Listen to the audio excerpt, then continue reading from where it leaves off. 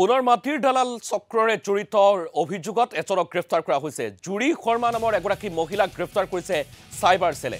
পানীখাইটিৰ ৰাজচক্ৰ কাৰ্যালয়ত কনিষ্ঠ সহায়ক হিচাপে কৰ্মৰত জুৰি শৰ্মা। এই পৰ্যন্ত জালিয়াতিৰে জড়িত গ্ৰেপ্তাৰৰ সংখ্যা বৃদ্ধি পাইছে চৈধ্যজনলৈ আমি পুনৰবাৰ উল্লেখ কৰিব বিচাৰিছোঁ জুৰি শৰ্মা নামৰ এইগৰাকী বিষয়া এইবাৰ জালত পৰিছে।